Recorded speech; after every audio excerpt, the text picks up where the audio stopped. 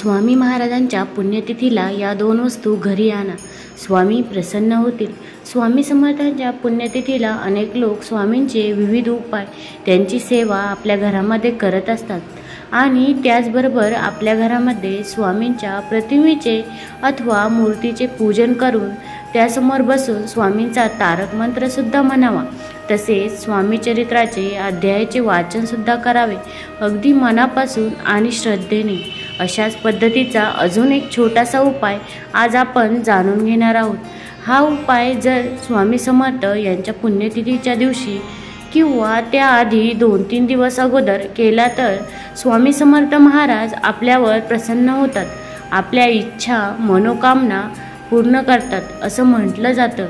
त्याचबरोबर आपल्यावर आलेल्या संकटात स्वामी आपले रक्षण करतात व आपल्या पाठीशी नेहमी सदैव उभे राहतात. यामध्ये सगळ्यात पहिली वस्तू म्हणजे जी स्वामींच्या पुण्यतिथीच्या दिवशी आपल्या घरामध्ये आपल्याला आणायची आहे ती म्हणजे अत्तर. स्वामींच्या पुण्यतिथीच्या दिवशी आपण घरामध्ये अत्तर घेऊन यायचं आहे. त्याचबरोबर स्वामी समर्थांच्या पुण्यतिथीच्या दिवशी ज्यावेळी आपण स्वामी समर्थांची पूजा करत असतो किंवा सेवा करत असतो त्यावेळी आपल्याला त्या सेवेमध्ये पूजेमध्ये आपल्याला त्या अत्तराचा वापर करायचा आहे. यानंतरची दुसरी वस्तू म्हणजे जपमाळा. आपल्याला सर्वांना माहीत आहे की स्वामींच्या कोणत्याही सेवेमध्ये स्वामींची सेवा करताना जपमाळ ही किती महत्त्वाची आहे?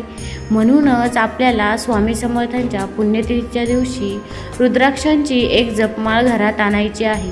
त्याचबरोबर त्या दिवसापासून किंवा गुरुवारच्या दिवसापासून तुम्ही माळेवर जपसुद्धा करू शकता. रुद्राक्षाची माळ तुम्हाला पूजा साहित्याच्या दुकानामध्ये सहज मिळेल. तुमच्या घराजवळ असणाऱ्या पूजा साहित्याच्या दुकानामधून तुम्ही ही माळ विकत घेऊ शकता. रुद्राक्षांची ही माळ एकशे आठ मण्यांची असायला हवी. श्री स्वामी समर्थांची भरपूर सेवा करा. श्रद्धा आणि भक्तिभावाने निस्वार्थ केलेली सेवा नक्की स्वामीपर्यंत पोहोचते आणि यांचे फळ स्वामी नक्कीच आपल्याला देतात.